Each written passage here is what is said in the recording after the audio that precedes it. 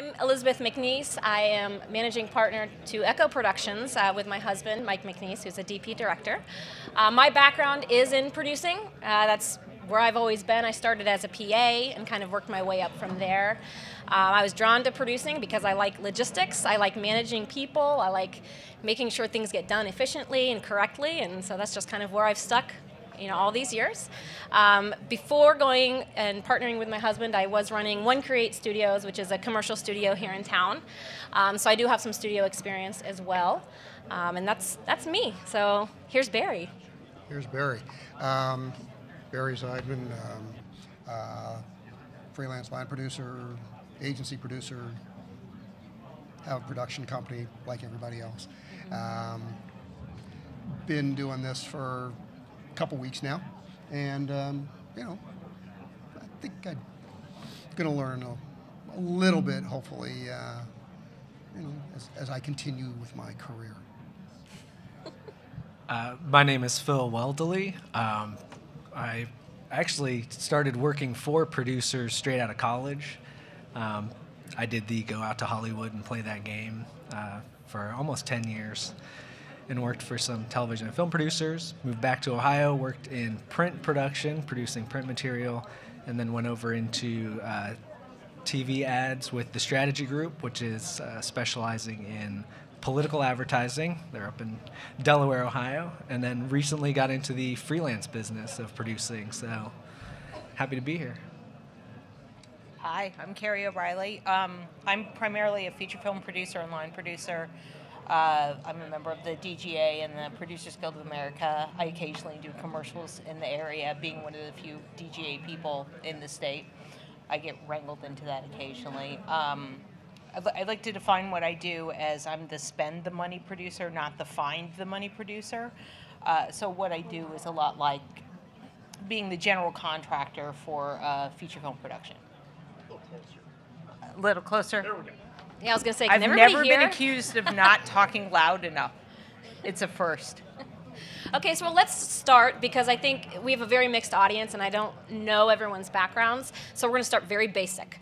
Um, in your own words, what, what is a producer? What do you do? Barry, you can start. Uh oh. Um, well, like Karri said, um, um, spend the money, not obviously not find the money. Um, project manager, you know, hand holder, um, take a project from uh, storyboard, from concept, all the way through execution. Um, in my case, I work uh, both on the uh, production side and post side for producing. Um, just being the the, the person in charge of production. Yeah, I, would agree. Um, it's uh, particularly coming from the political world. Um, it's a it is a much smaller universe. So, what a producer in that universe meant was concepting the idea, sometimes writing the copy, um, being out on the shoot and producing the shoot, and sometimes even directing, um, putting all the pieces together um, you know, working with just a, a small team to really put all the pieces together, and then, as Barry also said, being in the you know in the edit suite in post and just making sure that again that that vision that started either in your own mind or from someone else's page is really what's coming out at the end and also making sure people are fed quite a bit. Absolutely. Very important. Always always. Yep. um, really to me producing is is you're the person who always has to answer the phone and deal with it. And for what I do on on features it's a little bit like I inherit a project about the time that they're sometimes beginning to look for money sometimes it's once they have funding and they know they're going to film and they want someone to do a budget and a schedule. Um, but then I carry it all the way through the life of the film as it gets released so I'm involved with um, submitting the final incentive paperwork when we're doing a project that has tax incentives. I'm involved with the legal delivery, like making sure the credits are correct, things like that. The producer's just, it's basically the parent of the of whatever production it is the entire way through. And even when you're really angry at the project, you have to continue to be there and to pr- creatively protect it and sometimes financially protect it. That's that's the job of the producer. And there, there are all sorts of different types of producers, but they all feed that same goal. Well, feeding off of that thought, so there's a lot of different terminology when it comes to producing. You have your producers, your line producers, production coordinators. What are the differences um, between the different roles? Because I think a lot of times, especially, you know, depending on the budget and the size and the type of project it is, you might be doing the same thing but have a different name. Can you I think you're absolutely right about that. In the commercial world, which is where I live, um, the budget determines everything, uh, specifically staffing. Um, there are times on small jobs, like like you say, I'm everything, including craft service. Um, don't like doing that. Crew doesn't like it when I do that. But um, on, let's say, reasonable jobs, um, you know, filling out the production department and staffing it with people who know what they're doing and who you can trust and who are competent and know what their jobs are. Um, and I'm not saying that in terms of, you know, don't cross this line. That's production coordinator doesn't do this or a uh, line producer doesn't do that. I think it's more a matter of being able to, you're a coordinator and, and for whatever reason, if you need to step in for to make phone calls as a production manager and take on that role, in my world, you do it. Um, I think in Karri's world, it's probably quite a bit different. Uh, hopefully, hopefully, I, I, still do a lot of yeah, it. but hopefully, your, again, your staffing is such that you you have the depth that people can can be a little bit more um, specialized. In the commercial world in Ohio, you got to wear many hats. Yeah, no, I, I, absolutely agree, and I feel like this is going to be a trend of me just agreeing with Barry all day. Um, the that never happens for anything. Um, definitely, the the you know in the commercial producing smaller you know Central Ohio markets, um, a, a producer on set to me is just co kind of everything. Um, you're co wardrobe. You're co-helping, you know, determine what makeup is application is going to be the best. You know, working with the DP, kind of co-directing what the shots are going to be. Um, you might be the one who has to sit down and do the interview if you've got an interview subject.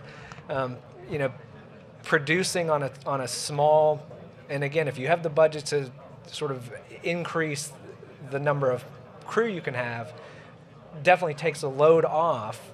Um, but a lot of times going into it, you may just already know that you're going to be doing many things um, that otherwise, like a larger production, might have the ability to be specialized. So, along that line, what are some key traits you think make a good producer? And is there a certain background to lead up to that? Karri. You know, uh, producers can come from anywhere. And, you know, my, my personal path was I came up I, I, worked in pretty much all the different departments, but I came up primarily as a production coordinator, and then I came into being um, a production manager, and then a line producer, and then a producer producer. Um, and it, it's hard to say. It's more it's more something that you that finds you, I guess, is is more than something that you aspire to do. Or if you aspire to do it, it's not what you think. It's not what you think it's going to be when you start out to do it, as is true with many of these things. Um, I mean, it's hard you just you just know if you have the traits to do it or not i mean the hours are really insane and one of the things I struggle with, as a lot of people in our position do, is being able to disconnect from your shows to have a personal life. So, being able to be so doggedly protective of your project and when you're on for me i only i try to only take two movies a year because of this because when i'm on a job it is a 24-7 all-encompassing thing so as a as a personality trait you have to have the ability to do that. But to have any sort of longevity or career not have burnout you have to have the ability to turn that off as well. It, it's tough.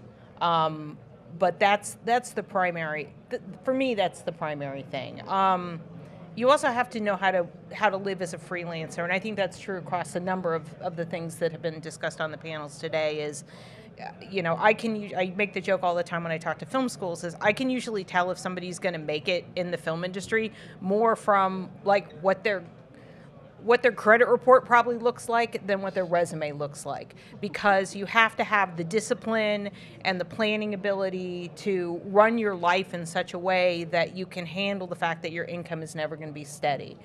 Um, that it, it, seems like it should be like oh you should be good at math you should be good at math you know oh you should be able to understand different personalities and work with them of course you, you have to know that as well but really it's it's the ability to live and work as a freelancer that I think is, is one of the most important traits you need to be able to do this long term. So, how do you get your work? Just in this particular market, how, how do you guys find your work? Um, in my case, uh, a lot of times it seems the work finds me. Um, it's all relationships. I have ongoing clients. um, uh, and I think my main skill is that I, um, I can trick people into thinking I know what I'm doing. Kevin agrees. Um, that, um, I mean, yeah, obviously you have to network, of course. But um, I do think that, I'm sure you can attest to this, that I mean, you've been doing this in this market for a number of years. Um, and you get a reputation. Hopefully, it's a good one. Um, and I'm, I'm exceptionally lucky. That's all there's to it. I'm exceptionally lucky that I stay relatively busy. Um, as discussion with some people earlier, that uh, sometimes the um, the work you get isn't necessarily always the work you want, but we all have bills to pay. Uh, it would, you know, the, the the freelance joke of it's you know one for the one for the real, one for the meal. I, I kind of feel right now that'd be great if it, was that ratio, um, but uh, you know, it's the way it is. I, I mean, I think just you know, showing showing the proof is in the pudding. I mean, making the relationships and really keeping you know keeping everything positive on set. I think you know word kind of gets around about how you operate as a manager on shoots and on set. You know whether it's in the studio at a place like Ohio HD or you know other studios in town. You know people start to remember who the, all the players are and you know who has those shoots that are always fun all the time and ones that are a little bit more of a struggle. Um, so I really think you know just relationships and word of mouth is is a big part of the game. Yeah, I think that's true across the board. I think in this industry is, and, and really any industry, is that networking is the primary way you're going to get a job. Like there are a lot of tools to get jobs, but that you know I've gotten jobs off of Craigslist in the past, but they're very they're very hit or miss, and you do really have to continually. From Craigslist? When I lived in LA, oh, yeah. Okay. In LA, it's a lot better. Right. Here, it's all Wow. porn. Um, I haven't gotten any porn jobs off of Craigslist um, lately, but Okay. but that said, oh, I've brought it down to porn already. Um, that said, I, I do have an agent who puts me. I, I'm represented by APA. An agent is helpful at, at a certain point in your life, but primarily it, it is through networking with people in the area. Um, I work on features, so there's completion bond companies, which is really important. They give out my name a lot and, and recommend me. And, you know, I'm on, I'm again one of the few DGA people in the States, so sometimes I'll get a call for that. But 99% of the work that I get is from either people I know already from other shows or people that have been referred to me from somebody that I've worked with before. So, what would you say is the most challenging thing about what we do? I mean, we do we wear a lot of hats. There's a lot of different things that we do depending on the shoot, depending on the industry. Um, but you know, what's, what's what would you think is the most challenging thing? I I, I really think. Um, you're obviously relying on many, many people all to be very good at what they do in order to get the result that you had in mind for your client. Um, and you know, a wonderful thing about Central Ohio is that a lot of these crew guys are super talented. I mean, like off the charts, really excellent and great at what they do. So you I, I feel you've got a lot of confidence already going into a shoot that things are going to go pretty well. You know, I've, I've, I've got the, the shooter who has got an eye better than anybody, and you know, the whole rest of the crew is filled out with all these amazing talents, and that just makes a producer look great. I mean, just the fact that everyone else is so good at what they do, you know, sort of lifts you up as well. I think you hit on something there. I think that um, and again, I'm coming at this from the commercial world, not the not the feature world. But um, I think probably the most important thing is to find people who are better at your job at their job than you are at their job. Um, if if I can do a whatever that function is, if I can do that person's job better than them, then they're the wrong person. Hopefully, the budget allows to hire the the right number of people, the right caliber of people um, to do the job. Um, it doesn't always work out that way, but that's certainly the goal. So if you have a client um, or, or, even some fellow crewmates and, and, an opportunity to give them a message about how to work with you or what, what, what would help you do your job better, what would you tell them? What would you tell the client, or what would you tell fellow crewmates? I'm not certain I understand the question. I'm sorry. If you had a message that you could give to any client or someone you're going to be working with on how to do your job better or how you can better serve them, mm-hmm. like what would you tell them? Um, I'd probably say, and I, I think this this can come besides applying to me. I think this applies really to any crew function or any uh, at an agency, any any agency uh, function. Tell me what you're what you're trying to accomplish, and let me either help you find the answer, find the answer for you. Don't don't define the problem and the solution at the same time.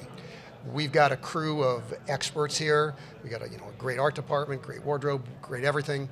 So let them do their job um, and and don't uh, if you don't like um, the lighting, you don't like the wardrobe, whatever, then come to me and let me talk to the appropriate craftsperson and find the solution from their expertise. Um, I'm not going to go to uh, a DP and suggest put the light over there. if, if, if, I, if you have to do that, that's the wrong DP. The, the right approach, I think, is we need to do something different. Let me tell you what I think we're trying to accomplish, what we need to, what we need to accomplish, and then you tell me how, how we're going to change it, how we're going to fix it. I, I think uncertainty can be a killer in all parts of the process of production. And particularly when you're when you're on set or when you're on the shoot and if clients there or not, if there's uncertainty from their end of what they want, even if they're not certain, um, a it can just eat up a ton of time, which in the production game is time is money, right? Every you know, if people are standing around and you're not filming something, that's probably a bit of a problem that you have going on. And I think that, you know, part of part of what you're doing as a producer, whether in pre-production or on set, is that you're also sort of a salesperson. You know, you've got to almost give back the confidence to the client that their idea is solid and the the sh- the material that you're getting is is going to be equally exactly what they want. Um, so there's there's a little bit of that sort of salesman built into you know just continually giving them positive reinforcement, positive feedback that you know you're they're going to get what they need. I think going to that, a crew, a crew smells fear, um, and and they smell, and, you know, and and if you've got a a competent crew, and let's hope you do, um, they've been around good production, they've been around bad production, and when a producer doesn't know uh, what the hell they're trying to accomplish, the crew instantly knows this, and they lose respect for you, and they won't, they can't give you what you need if you can't articulate what that is, if you don't know what that is. I think clients pick up on that too. Absolutely. And they Yeah, may not absolutely. Oh, understand what makes the set uncomfortable or where that uncertainty is coming Mm-hmm. from, but I think I think that's where being a strong producer is essential. You know, being able to stand your ground, always being able to have a strong shoulder, and you know, we're problem solvers. Uh, what do you think the ratio of problem solving on set uh, versus coordinating? What, what do you think the ratio is between those two for your job? Um, I think it, I think it, I think it. I think it, I think it depends on the project, depends on the job. Um, I mean, there, as, as far as problem solving, I don't know if I wouldn't really, hopefully, view it as problem solving as much as there are decisions that you have to make on the fly. But I think that with experience, you anticipate these things. You've had these, you know, you've had these things come up before, they're going to come up again, and it just becomes a matter of, yeah, I can handle that. And going back to what you're saying about clients and the confidence that they hopefully have, um, they they can tell, okay, oh, we're making it. I'm I'm I'm comfortable with that decision. I'm confident that Barry has been in this situation or something similar before, so I'm in good hands. We do this all the time, and um, clients don't. They, um, you know, every time that that we're on set, we always are making decisions. We're always coming up with answers. When I, you know, I say on the fly, but it's, it's more a matter of these are decisions that you make on set. It's, it's normal, it's natural, this is what happens. And if the client, um, in the case of, of spot work, and again, I, I'm going to turn this over to you in the world of feature stuff, but if, if the client has confidence that I've been there and done that, and yeah, we're making a decision, but that's what we do. Okay, we'll do this, this, this, and this. Next, um, they can smell that, and that's if, if you lose the confidence of the client or confidence of the crew, um, you're screwed. I'd, I'd love to hear your, your reaction to that on the feature side. Yeah, I mean, you, it- do you work with with directors that are, and, and you know, it starts from the top down do you, I don't I don't know exactly the the scope of talent of, of experience not talent of experience that you work with and I think with probably with young It varies, directors yeah. with young directors it's critical that they surround themselves with a really strong crew Well, and, and that's the big part of what I, uh, that's one of my most important jobs is sort of putting the band together. And it varies on every movie, and every movie has different requirements for it. And commercials as well. Every commercial has different requirements. You don't always hire the same crew because they're not right for the project that you're working on. You know, for directors, for clients, for agent agency folks, it, it, it all does come down to a lot of you know, how well have you planned what you're trying to do and identified it for yourself, and how well have you communicated that to the team who is there to help you? Everybody wants to have a good shoot. Nobody wants to come and have it all go badly quickly and have everybody mad at each other.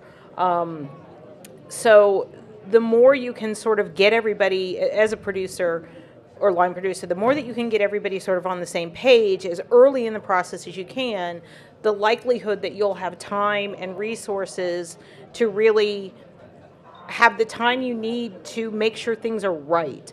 And and also to allow for some spontaneity because which is often where the magic is is that you know you have a plan and you know you have the time to do it. If something is great happening on set and you want to, and the scene is being elevated, or the or things are going better than you think it is, or the talent is really really good. If you have a solid plan, you know if you have the time to explore that a little longer or not. And you also know what the core of your thing is, but have the flexibility to maneuver it. You know, when I'm on set uh, on a movie, like I'll have several weeks of pre-production, but you know only so many days of the shoot. My goal always is is that by the time we're shooting, 99% of everything is set up and I am literally on set to firefight all the stuff that doesn't go wrong or all the stuff that is going really well and we want to extend.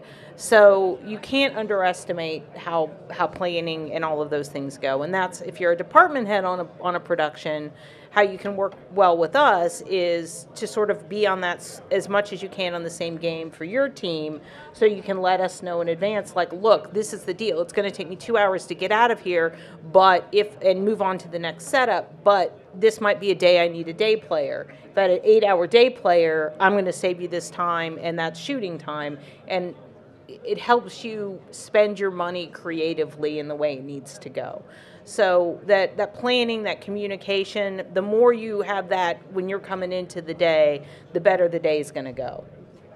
And Karri, since you work on features, um, is there a difference between what you do when you're working with union talent versus non-union? Yeah, I mean across the board, yeah. I and I also work with a lot of directors who are either you know, I like to call it like first time on the machine directors, where they may have directed a five hundred thousand dollar feature, but now they're doing it with the union crew, or they made may, may have made a small movie in Europe that was a hit at Sundance, and now they're making a movie with the with the U.S. crew.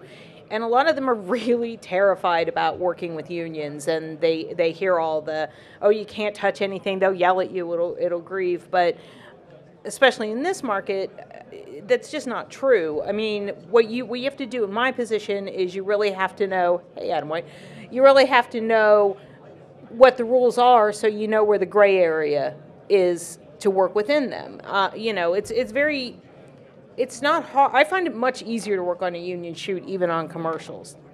Um, I didn't always think that was true. I used to be very scared of it as well. But once you realize that the unions give everybody a framework to understand whose job is what and how it's going to work and like why we break for lunch at a certain time it, does make it much easier to work with and, and what i tell my feature directors that are scared of it and sometimes my producers that are scared of it is like look my job is to make it so you only feel it a couple of times i'll come to you when you're going to feel it and you just have to trust me when i say this is one of those times this is one of those times like I know in your last movie you and the DP just grabbed a camera, jumped in a van and drove off and got second unit.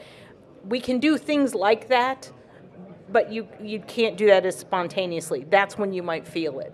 But my job is to sort of be like, but I already have a Teamster standing by with the van and you the DP and the first AC and maybe a grip are going to come and do the shot you want to do now. And they're all standing by the van right now. That's my job. Was that a five minute warning? What was that? No? Dance break. Ah, what time is it? Anybody?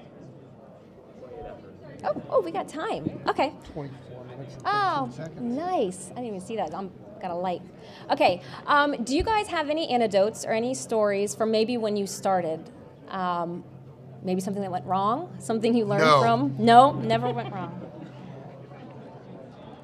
I think you have to have a show that goes wrong to, to I think what it takes to be good at any job is you have to have a show that goes really well and you have to have a show that goes really wrong despite how well you think you've planned it.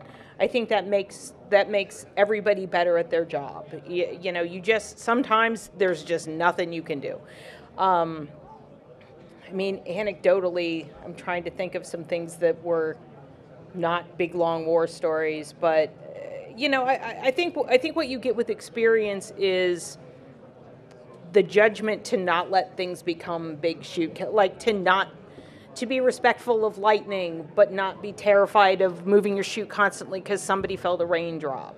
you know, those kind of things that you can plan and not plan, and, and how do you how do you swing from? You just get that with experience, and you know, people that know me from set, it's like I'm Irish, so I get like really excited about things and and do it. It's like when I get super calm, when something goes bad, when we have the big bad happen, like that's when I get the most calm and the most like, okay, here's what we're gonna do.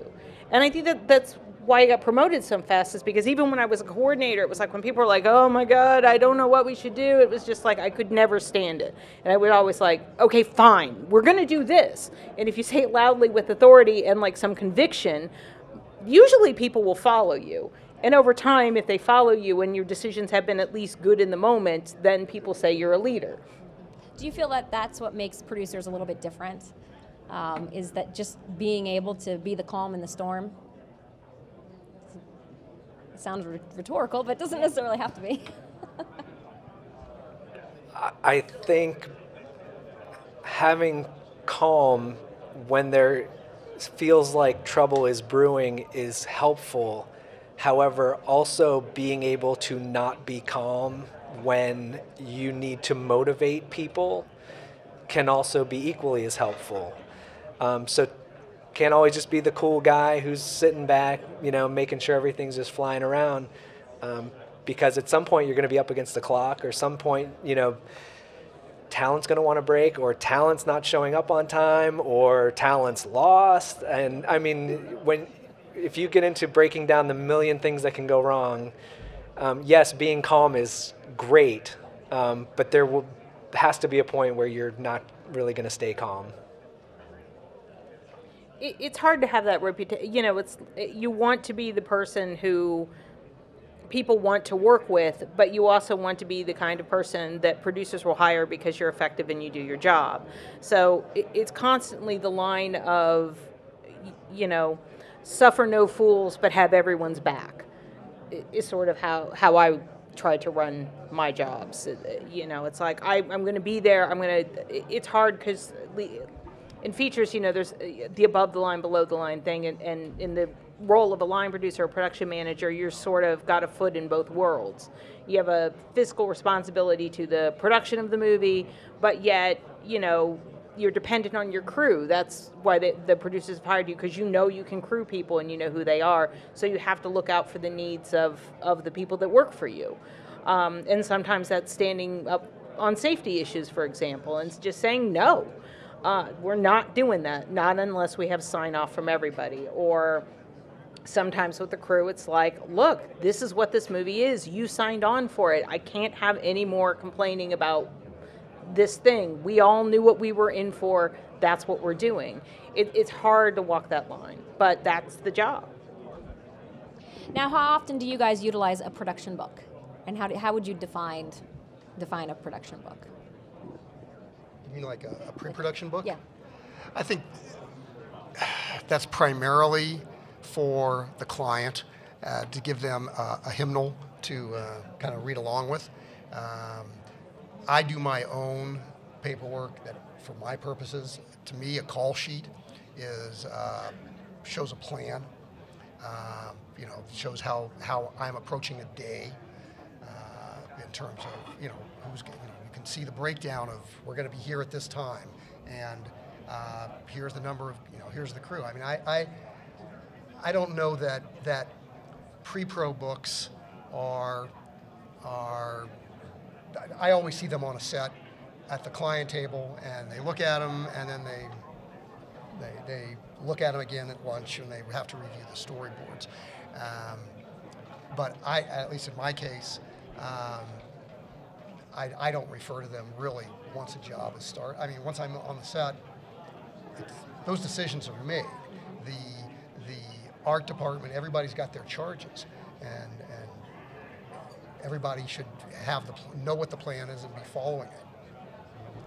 Yeah, I hate doing them. I hate doing them. I never look at them. They are This is why- necessary this is evil. why they were coordinators. They are, yeah, That's that why is. they're coordinators. Do the book. Yeah, it is. It is my least bane favorite part about doing commercials. I agree. Is that right when you were doing your job of actually putting the shoot together, you're scrambling to make this book for the agency and the clients that you know, That they're gonna ignore. that they're going to ignore, and that and that is actually also one of the big agency agency things, at least in my experience, is like that. Boy, that is where job justification rears its Oh ugly head in a big way. It's like, oh, can you please change the point of the title, font or a title yes. on something?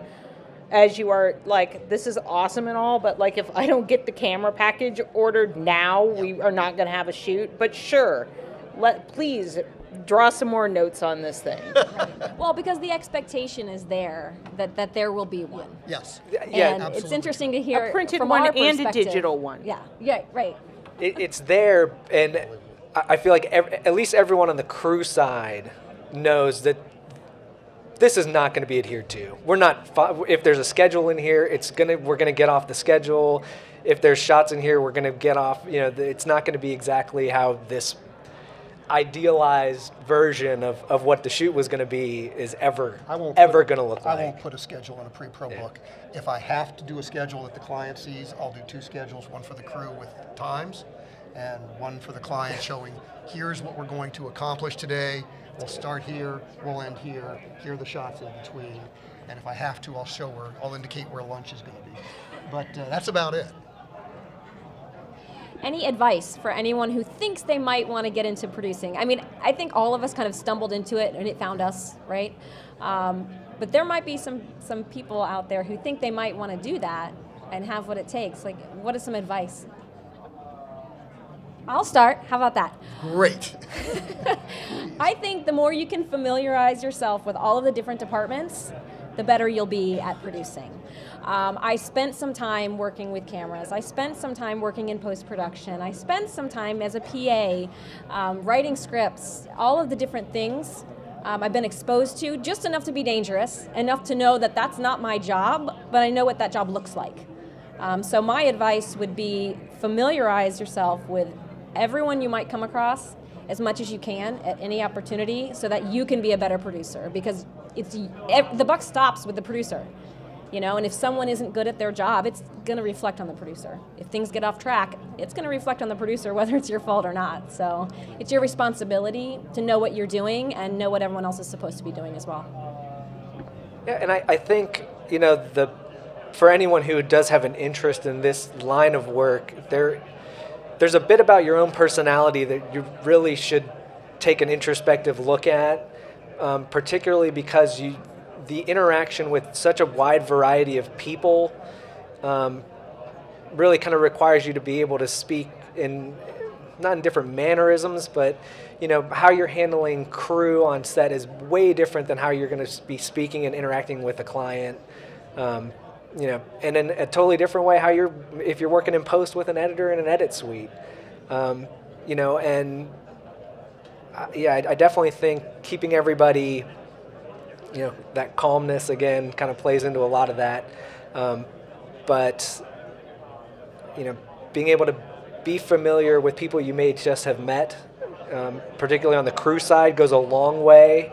Uh, especially if you're going to ask them to work beyond certain hours that they may have been told, um, or when you're pushing lunch, and these are all people that you just met, and you know, being you know having that ability to sort of buddy up quickly, I think, can make a production just be better.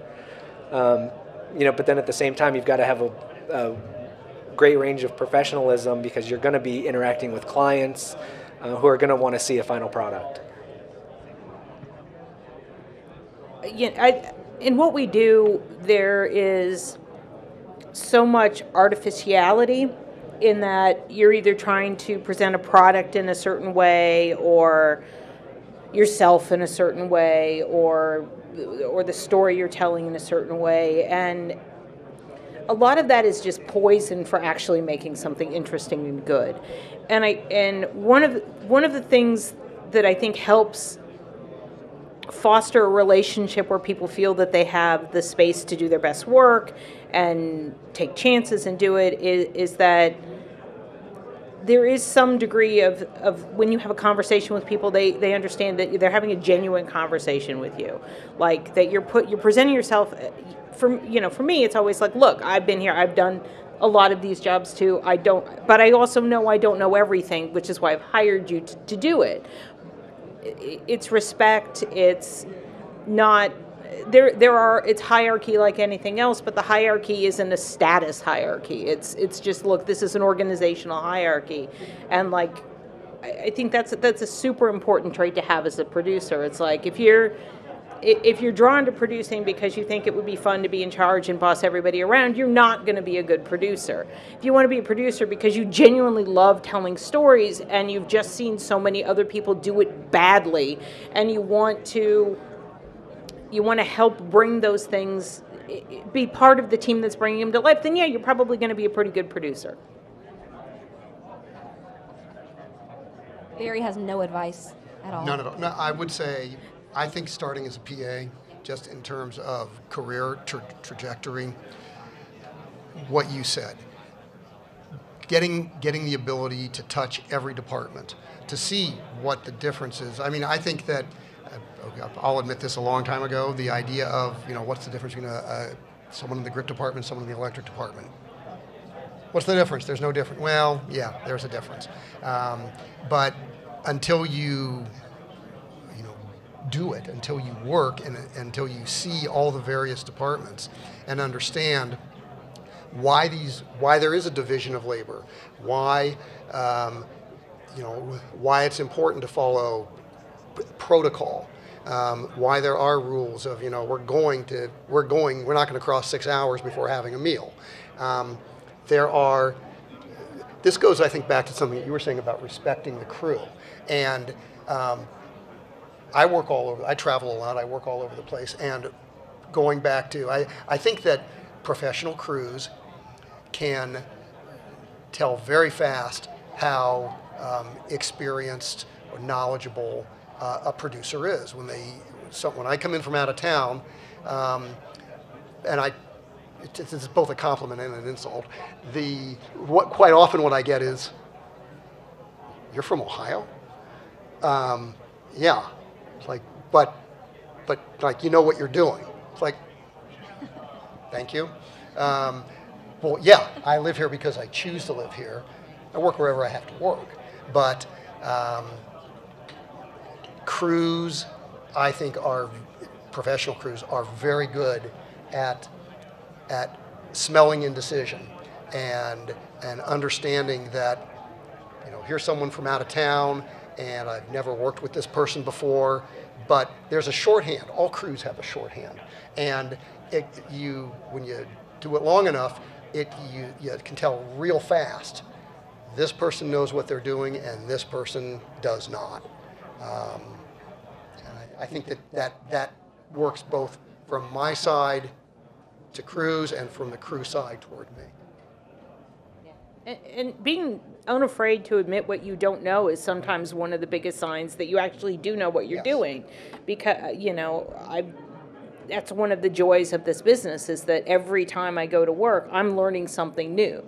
I actively look for projects that that stretch me to do it and you know, if I don't have a, if I don't understand something, at least to the degree I need to, I'll just start asking questions. Be like, whoa, uh, you know, I did a 3D movie when they were in vogue, and it was like that was the first phone call. It was like 45 minutes of talking to the stereographer, just going like, so so tell me what's important that I should know about that. What's the terminology so I'm saying this correctly when I talk to people? It's left eye, right eye. Okay, great, I get it. And it, you know, having those conversations where you just let other people fill you in on those things is, is super important. And sometimes when there is a problem on a set or you, or you don't understand it, just just being the first to say, you know, yeah, this is really a problem, isn't it? And does anybody else have an idea? Does anybody have an idea on on this stuff? It is a good sign of leadership because it shows that you know you're not trying. You know, you, there's always a bit of fake it, but because you just have to. But uh, you know, there's a difference between blind faking it and just you know demanding everybody listen and sort of being like, yeah, it's you know sometimes I don't know either. But Let's figure it that's a sign out. strength. That's Yeah. not a sign of weakness. Oh, of course. Um, and and crews know when you're bullshitting them. Yeah. Um, and and saying, I've never done a 3D movie before. I need your help. Yeah. Tell me what I need to know. Um, you know, I I think that crews respect that. Yeah. And I think they'll be much more willing to help you and work with you and make sure that you don't fail. Yeah, because I mean, it's it's not coming from tell me what I need to know so I look good in my meeting. Right. It's tell me what I need to know so I can help you do your job. Because again, we all want this to go super super well. That's what we all want. Everybody wants to be part of the project that goes to Sundance. Everybody wants to be part of like the really amazing commercial, or even the commercial that shot a 12-hour day and ate, and we all went to the bar early. You know, it's it's uh, the dream is always success. Yeah, so anything you can do to foster, let's let's get there and let's everybody have a win, the better off you're all going to be. Great. Well, we actually have seven minutes left, and since this is Scott's stage, I want to talk a little bit about rentals and gear. Um, Scott, are you listening? No, he's writing. That's okay. This is being recorded. Um, how involved are you when it comes to gear rental? I'm, I'm asking a question for you, Scott. How involved are you when it comes to gear and gear decisions and working with a rental company? Personally, I, not that much. Again, what I want to do is I hire the DP, um, and I'm, I am a, personally a big believer in um, department heads. I hire department heads. I, I don't fill out the crew. I let the, and in that same, uh, following that same path, if I'm not going to tell a DP, um, here are the lights you have to use, or here's the, you know, here's the size of the grid. You tell me. That's why I hired you. Yeah, I think yeah, that's exactly the same type of scenario. That, you know, as soon as we're talking with the DP, um, you know, I feel like that's sort of the transfer of, you know, part of what they're going to be doing is, you know, we've spoken, we've discussed sort of what the goal is going to be for the shoot. Um, you know, are we talking sort of an, you know, an on-location interview setup? Are we doing um, tabletop B-roll? You know, just uh, you know, all that information has been communicated to the DP, and that person now should have all the information necessary to contact a rental house, also with an understanding of what a budget would be, to get all the pieces that we need, you know, without renting the entire, you know, five-ton truck. I'm usually pretty super involved in selecting the vendors. Um, not that I don't listen to my DPs, and not that my you know, the gaffers and Key Grip and the DP don't make their equipment list. They do, and a lot of the time, my vendor selection is based on what they need. Like you know, if they if they need a certain camera, that's going to, to some degree, dictate where I rent that from. But I do have the ability to, on features more so than commercials in this particular market, we're driven very much by tax incentives. And the market that you're in and where the gear comes from is really an important, important part of the financial picture of the movie. So, you know, I may say, look, I'm super open to discussing vendors, but we are required to use an in-state vendor because we need to get the tax incentive on it.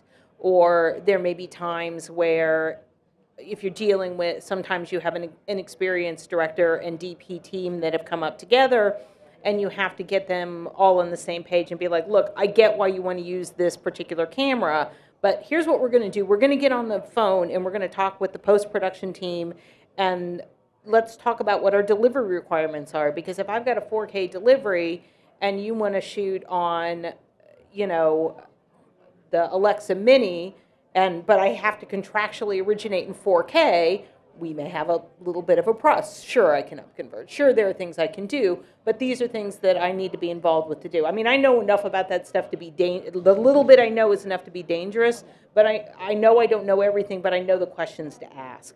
And because of that, and I know the team members to put together to have the conversation, so a lot of the times that's that's where I come come in as well. There's other other considerations that as people come up or on a commercial that wouldn't matter that matter more on a feature.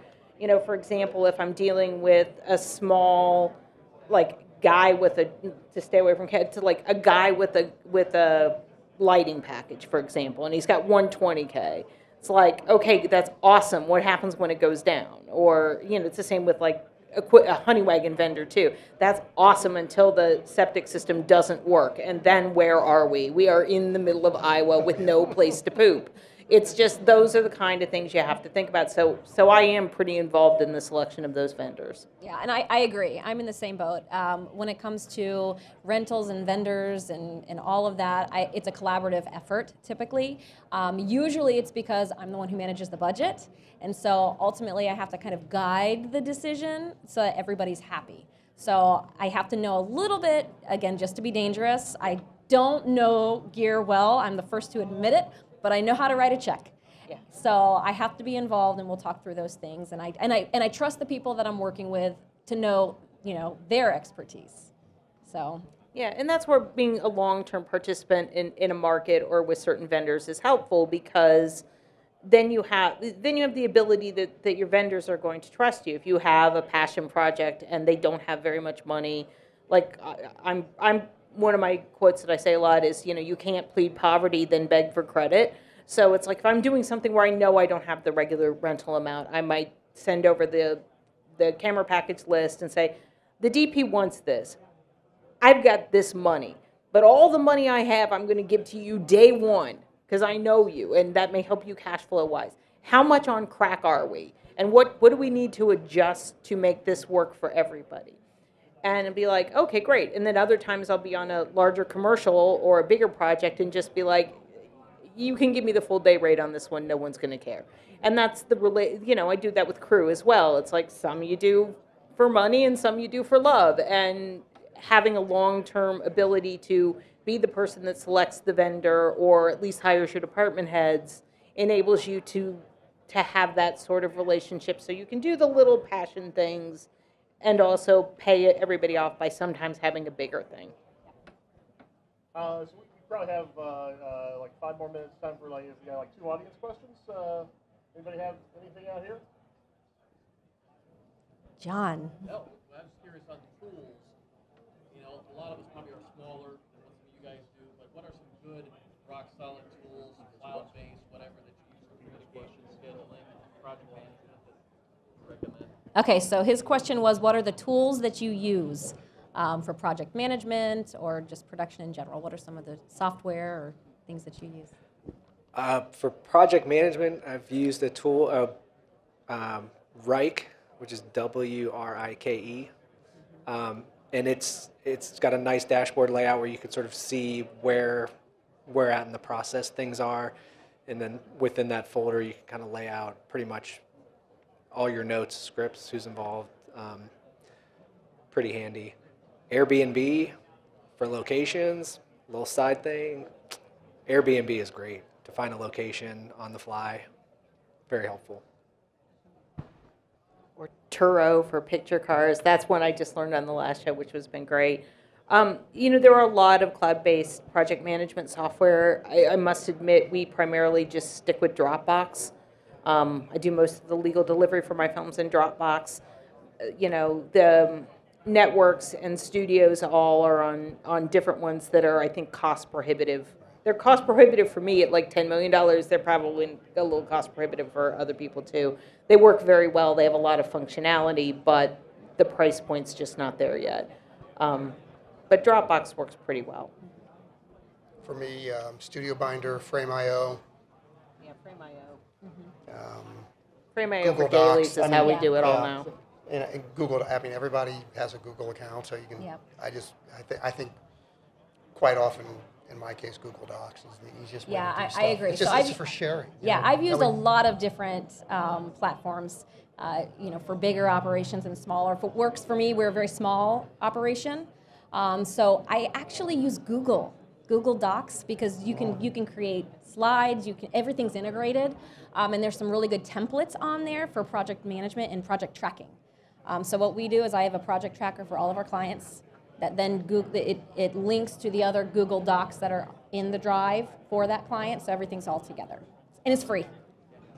Yay. Yay! All right. Hey, uh, thank you so much. Uh, amazing panel, right? Maybe. Woo! Look at that. They, they, they- they love you guys. That was amazing.